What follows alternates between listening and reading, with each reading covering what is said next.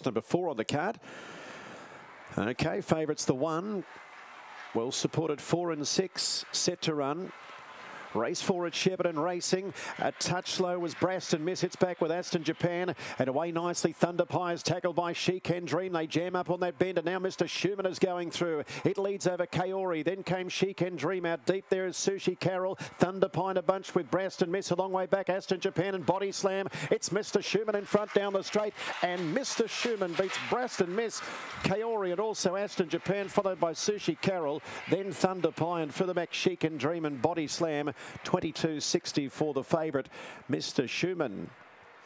Number one was a bit of a. Uh, of a roughhouse affair early on. They took a while to jostle and find their position, but once they did, it was the red jacket who emerged, and from that point on, it was in the uh, driver's seat. The um, second place getter didn't jump away very well. Braston missed, but has done a good job to work its way through the field eventually. Uh, so wound up in second. Interim numbers here 1638, 1638 the interim placings, 849, 1413, 22 619. It's two lengths by one and a quarter. And uh, Mr.